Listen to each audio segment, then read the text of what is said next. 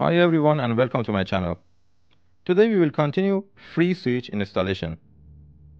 In the part 1 of FreeSwitch installation video, we have learned how to get token from SignalWire and how to download FreeSwitch code from GitHub, compile and install it. Today we will continue with post installation tasks. We need to set permission, set system script, etc. That we will go through them step by step. So let's get started by setting ownership and permissions in FreeSwitch. And um, when we install FreeSwitch from source code, by default it will be installed in the USR local FreeSwitch. So you will see the local USR local FreeSwitch is the default path for the installation of FreeSwitch when you are installing from source. Uh, by default, the ownership is root because, uh, or the user that you have installed that one. I'm sure most of you are using root like me for the installation. So for example, if I go to the FreeSwitch and if I run ls-alh, you can see the owner of the files are root. We don't want that, right? Because we don't want that user to be or the process to run as root or the owner of the use uh, the files to be root. We need to restrict to a user. In order to do that, we need to first create a group and create a user for FreeSwitch. Uh, by the way, this is this is my GitHub. I mentioned in the uh, first video. The link will be in the description, and uh, you can go step by step. I mean, what I'm explaining here, everything is here. So we are in the post installation task and set ownership and permission. So the first thing that we need to do, we need to go to the cd usr local, create a group, create a user, FreeSwitch, and then we set permission of the USR local FreeSwitch to the new user that we have created and the name is FreeSwitch. And then we give it actually read, write, and execute access to this group. So in order to do that, you, you can just copy and paste here from my GitHub. Okay, permission uh, set. So in order to ensure, yes, in order to ensure that, we can go to the free switch and run ls-alh. And then you can see the owner of the files are free switch. The next step is to configure systemd for FreeSwitch in order to be able to use the systemctl command to stop, start, disable, or enable the FreeSwitch web service.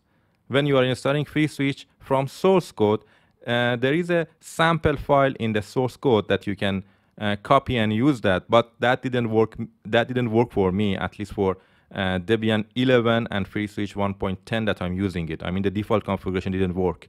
So I have uh, changed some configuration files uh, for the systemd and I put it in my GitHub. So if you follow that, it should work for you. If you have any other suggestion or any other uh, actually systemd configuration that works, that's great. You can put in the comments and I will check and add to the uh, wiki as well. So systemd is uh, actually a file. Uh, it's very easy. We can just uh, open the file, edit the file, copy the information here, and then we have that uh, system systemd configured. So I will just copy and uh, let me just open the file. You can use any file editor like Vim or if you are using Windows, even you can connect your WinSCP and edit the file. Vim etc systemd system freeswitch.service. So I open it and I copy the content of the systemd here. And I'm saving it. In order to uh, actually, you need to reload the daemon. So we run the command systemctl. Let me just clear it. Systemctl daemon reload. And now we are able to actually stop, start, or check the status. So we can use the systemctl start free switch to start the FreeSwitch service. or we can check the status by systemctl status free switch. And as you can see, it's running. Also, uh, you want to enable the service. So system systemctl enable free switch. Because if you do not enable the free switch service when you reboot or restart your PC, then uh, the free switch won't run automatically. The next step is to configure bash profile for FSCLI tool. FSCLI uh, tool is a actually interactive console to work with FreeSwitch. It connects via event socket to the FreeSwitch and then we can get the status of, for example, the uh, phones, a lot of information, the version, and we can interact with the FreeSwitch. We will see how we can connect to the FSCLI first and then why we need the bash profile for that. So first we want to learn what is FSCLI. It's a console to interact with the free switch. By default, it's installed in the USR local free switch. That's the default path that we have installed over switch, free switch. And then we have a folder bin. In the bin, you have a, as you can see, you have a uh, command fs underline CLI. To run it, you can put dot slash fs underline CLI. And you are connected to um, free switch console. Here the commands are actually the uh, commands for the free switch. They are not your Linux shell. They are the free. It is free switch shell. I want to say you can you can enter the help to see what type of commands do we have. Or for example, here uh, you can see all the uh, conversations or anything happened in the system. As you can see, because it's a in a uh, cloud environment, a lot of people wants to uh, hack me. Of course, this is something that there is, this system is not connected to nothing, so they won't get anything. But as you can see, you can see all the logs in this console. To exit the console, you can uh, enter three dots, and it will exit the console. So, of course, every time you want to run the FSCLI, we can come to this uh, path, USR local free switch, and then run the command as I did it right now. Uh, in order to make it more convenient, I prefer to create a bash profile for it. Here you can see the bash profile.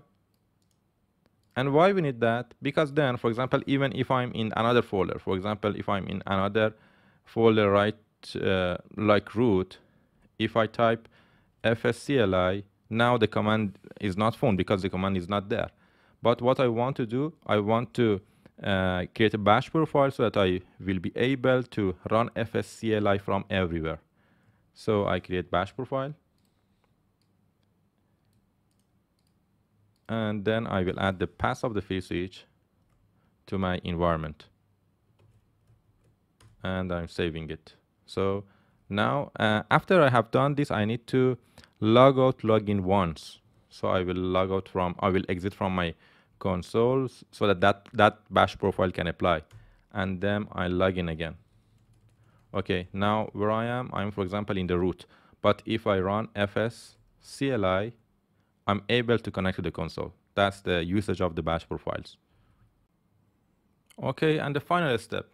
In installing a DNS caching uh, package installing an entropy source and a automatic time synchronization package these uh, steps are not mandatory, I want to say, but uh, it's a standard um, a step that you need to apply. I will explain why you need each of them. I have provided the commands that you need to install the DNS caching, uh, uh, entropy source, and automatic time synchronization here. You, you, can just copy and paste in your console to install them. Uh, why we need the DNS caching is because uh, every time that we want to have a name resolution, we don't need to go back to a, a public DNS server and it will cache actually the DNS. For entropy source, for entropy source, we need to uh, generate SSL and some Debians do not have the enough capacity or they are to generate that actually uh, to generate that unique uh, string. So this will help them to generate that unique X, string for usually when you are creating a SSL certificate. And automatic time synchronization, as you know, the time is very important in the telephone system and real-time communication. So within installing of uh, this package, uh, the system will automatically sync the time with the UTC. So in order to complete this step, you just need to copy paste these commands in your console. These commands will install the package, start and enable the service so that when we are restarting the uh, system, this service starts automatically. So I'm not entering them again. You can enter yourself and if any issues, you can uh, put a comment. That's it. That's the installation of the FreeSwitch. This was the post installation video. In the next videos, we will learn uh, what are the directory and file structure in the FreeSwitch, and we will start configuring the FreeSwitch by registering the phones, registering gateways, and creating dial plans. Thank you for watching.